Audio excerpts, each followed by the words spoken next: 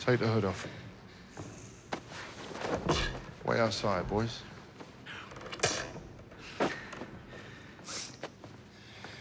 Save a little bit for us, boss. Who are you? Who do you work for? You and I got a lot in common. Really? You think so? So you're sitting there tied to a chair, and I'm standing here with a gun in my hand. Now you tell me what this was all about.